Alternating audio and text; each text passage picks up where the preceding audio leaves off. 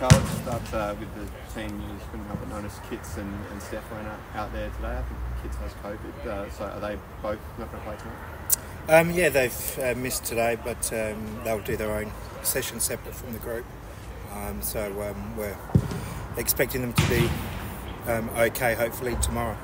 Steph, is that also a sickness thing? Yeah, look, they both, um, after the trip back from Wellington, um, felt a little bit under the weather, so we've just kept them separate from the group.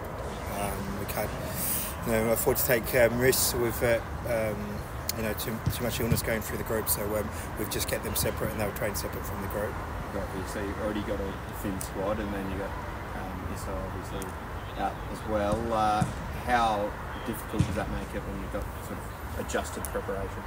Yeah, look, um, you know, that's uh, the challenges that you have over the course of a season. You know, players coming in and out. Um, we've had it all season, so look, um, you know, we're um, we're back. How you know the young players that will come in and, and replace um, those players. So um, yeah, look, it's the way it is. The squad has to to deal with that.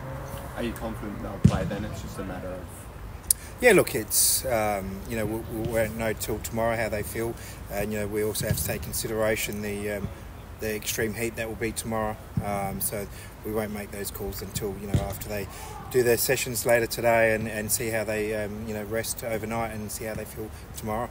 uh, with Issa. Is, is that just a, a straight swap most likely with, with Ryan coming in? Yeah, look, um, you know we've got a couple of options there. Um, you know.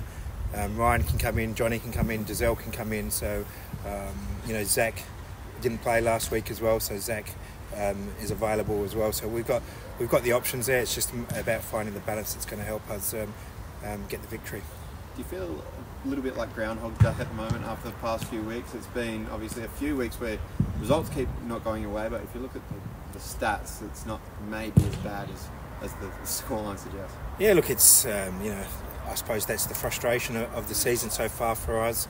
Um, you know, the only stat that matters at the end of the day is, is wins and losses, and and at this point in time, we just haven't picked up enough wins. We're we're well aware of that. We're disappointed, um, but in saying that, you know, that um, we've been able to, you know.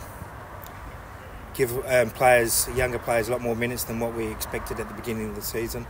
Um, so look, in the end of the day, you know, we, we want to be a lot higher than what we are, and we just have to keep keep pushing to get there. I think uh, it's close to becoming the worst home run ever in the history of the club. With a derby game, of course, coming up, how much uh, do these sort of games, if you are to get a win, sort of boost the confidence around the club for you know home fans that haven't seen it in a while? Yeah, look, it's always an important game. You know, these games, it's um, it doesn't really matter where where you are. You know, you, you know, victory last year was struggling down the bottom of the table, and you know this year they've bounced back a little bit. So um, it's these games are, are big games, you know, for the fans and the players. So look, we'll just go out there and and and try our best and, and to get the, the results that we needed.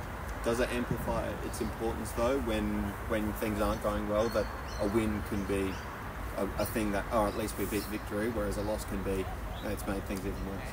Oh, look, we've you know set ourselves high standards, and we know we haven't uh, reached those standards this season.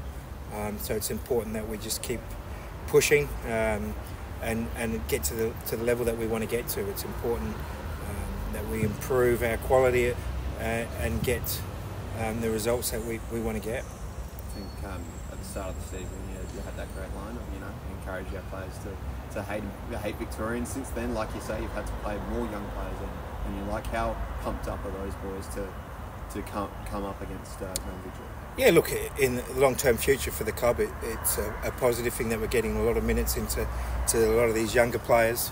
Um, so the you know the future will be promising in that regard. Um, and you know a lot of these younger players, you know they've grown up um, coming here to watch those games, so they're you know looking forward to, to playing in those games as well. Um, so look, we just have to um, keep having you know being positive with the group um, and just keep pushing them to, to raise their, their levels.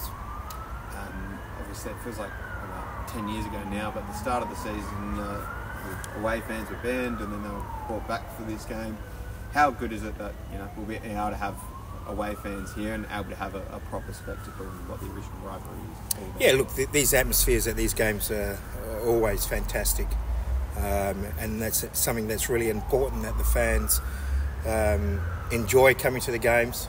You know, they um, without them, we, you know, we wouldn't have the league, we wouldn't be playing. So it's important that um, you know we recognise that, and that's why these games are, are such great games because the, the involvement of the fans and the atmosphere that they create. I have to ask you, of course, this week with the whole Michael Toure situation, have you sat down and spoken to him and what those conversations were?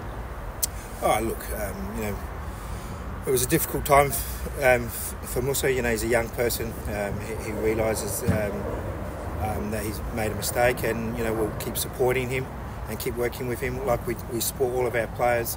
Um, and you know, he, he'll move on. Is it a case, obviously, this club has been so involved in inclusivity and they've got the, the flags up at the, at the moment? Is How important is that to the club? Yeah, it's very important. It's, um, I think we've always said that it's um, really important that we're inclusive of everyone. You know, it's important that you know all of our supporters that come um, feel um, they're part of the club and included, um, and that's something that we've been pushing. And, and I think we're sort of ahead of a lot of other clubs um, and other sporting organisations as well. Um, but as I said, you know, young players, young people, you know, they all like to um, express their feelings on social media, um, and you know, something that um, we're working with uh, young players, not just Musa, all of them, um, on what they need to be um, doing.